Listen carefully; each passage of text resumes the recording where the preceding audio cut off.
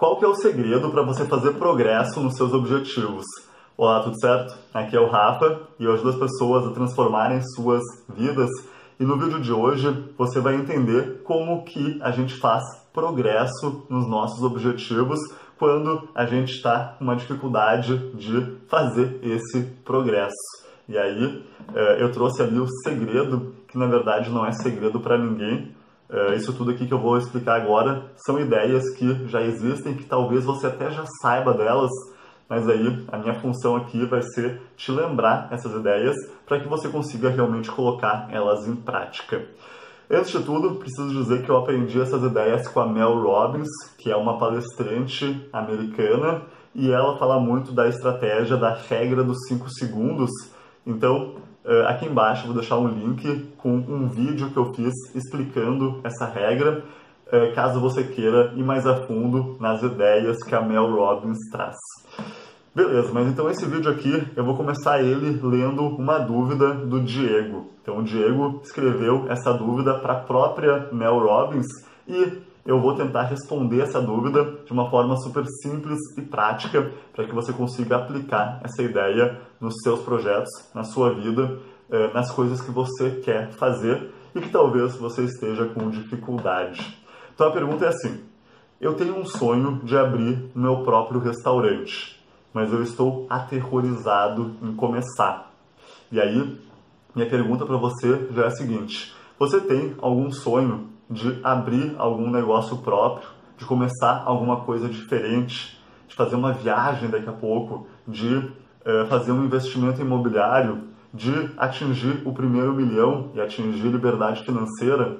Se você tem um sonho grande, mas que você não conseguiu tirar do papel ainda, não consegue fazer progresso na direção desse sonho, deixa aqui embaixo um comentário para mim saber que está acontecendo com você. Mas legal, aí o Diego continua explicando eu tenho o potencial de fazer isso dar certo, mas eu não consigo fazer nada que me mova na direção desse sonho. E aí, aqui vem o grande problema do Diego. E o grande problema é, o sonho dele é tão grande, tão grande, que meio que paralisa ele. Ele meio que não consegue saber o que fazer. Quando o sonho é tão grande, muitas vezes a gente fica paralisado, a gente fica sem saber por onde começar.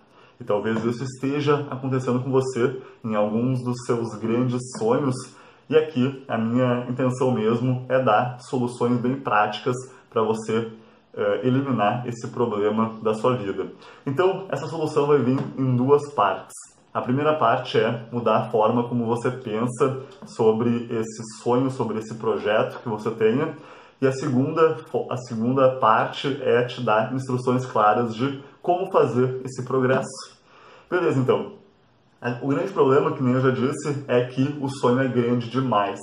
E aí a solução inicial é a gente reduzir um pouco a importância desse sonho, dizendo o seguinte, cara, eu não preciso abrir um negócio agora, eu não preciso abrir o um restaurante agora. O que eu preciso mesmo é fazer progresso nessa direção.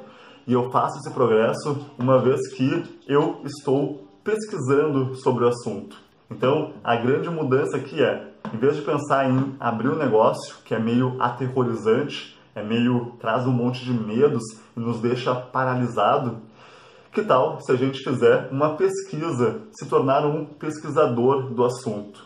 Então aqui a ideia é, em vez de pensar na meta grande, pensa em eu vou pesquisar sobre como montar um restaurante. Eu vou pesquisar sobre como fazer um investimento imobiliário. Eu vou pesquisar sobre como eu posso é, ir viajar para a América do Sul. Eu posso. Então eu estou com um plano. Eu estou trazendo aqui essa ideia porque eu tenho um plano de fazer um mochilão pela América Latina. Então deixa eu dividir de vez em quando algumas das coisas que eu estou pensando em fazer. E eu penso em viajar pela América Latina. Só que se eu ficar pensando no sonho, ah, eu quero morar no Caribe, é, talvez isso tudo me paralise e eu fique cheio de medos para fazer isso. Mas eu posso pegar a ideia de reduzir um pouco a importância e dizer: não, eu só vou ser um pesquisador do assunto.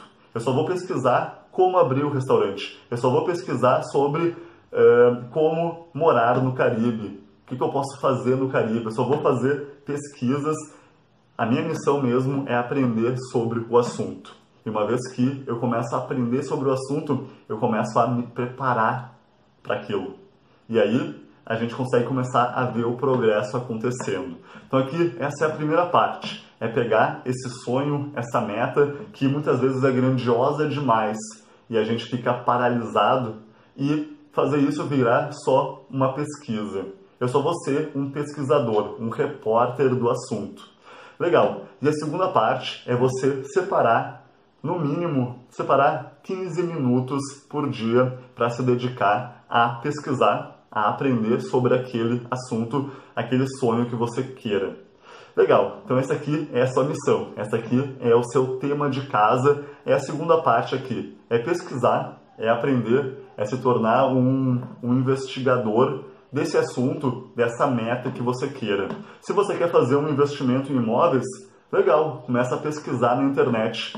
Coisas que você pode fazer. Você pode encontrar um artigo de alguém que já fez aquele tipo de investimento que você queira fazer e você começa a ler aquele artigo. 15 minutos por dia. Você pode encontrar vídeos como os vários que eu já fiz. Você pode pegar uma entrevista que eu já fiz, por exemplo, e aprender sobre isso. Se você quer morar ali no Caribe, que nem é o meu caso, encontra pessoas que já fez isso, que já postou vídeos, artigos, pessoas que já escreveram livros nesse assunto e começa a aprender o que, essas pessoas fizeram para fazer isso, que, qual foi o desafio que elas tiveram, quais que foram os obstáculos que elas tiveram que ultrapassar. E aí, uma vez que você se torna um pesquisador, uma vez que você se torna um investigador, fica muito mais leve fazer esse processo todo, porque aí você não está abrindo o negócio, você não está fazendo aquilo de fato e fica muito mais fácil então ser apenas o pesquisador, ser apenas o investigador. Só que, ao mesmo tempo, você está fazendo progresso naquela direção, você está se preparando, você está conversando com as pessoas que já fizeram aquilo. E, e aí, você pode, por exemplo, no caso do Diego que quer montar um restaurante, você pode muito bem trabalhar em um restaurante para aprender fazendo um negócio. Então tu aprende com o negócio das outras pessoas e você fica ali um, dois anos aprendendo e fazendo, sendo caixa, sendo cozinheiro, sendo gerente de contas. Eu não sei quais que são as funções aí que, que a pessoa pode fazer lá no, no restaurante, mas você se torna uma pessoa que se prepara para aquilo. E aí, uma vez que você vai entrando nesse mundo devagarzinho e você vai fazendo isso 15 minutos por vez, você vai perceber que você vai ganhando momento. Rafa, que negócio é esse